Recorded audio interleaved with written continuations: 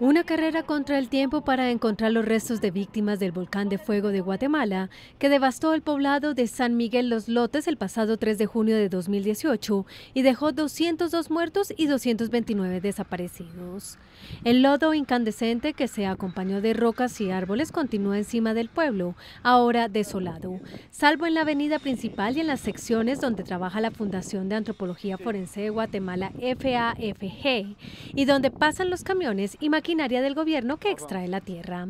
Ahí, donde trabajan las excavadoras, hay sobrevivientes que afilan la mirada para rescatar las últimas osamentas posibles de sus familiares o las de sus vecinos, desde que el pasado mes de agosto la FAFG inauguró la búsqueda de restos de personas que yacen debajo de la tierra en el lugar y cuyo proyecto concluirá el próximo 16 de diciembre. Menos de un mes para que finalicen las tareas que comienzan a las 6 de la mañana y concluyen a las 4 de la tarde previo a que se ponga el sol, los siete días de la semana y que hasta la fecha han rescatado 17 osamentas.